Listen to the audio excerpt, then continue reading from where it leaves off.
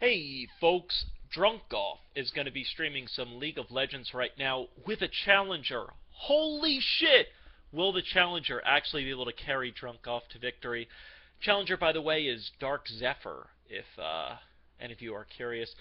Really, really great player, really, really solid personality. Um, is an incredibly good player, but has really never let it get to his head or anything. It, it's awesome playing with him. But uh, regardless, twitch.tv slash Togoff to see Drunkgoff play with a challenger and see if he can carry me to victory. So, as always, folks, thanks for watching, and uh, I will see you at the stream. Thanks for watching, everybody.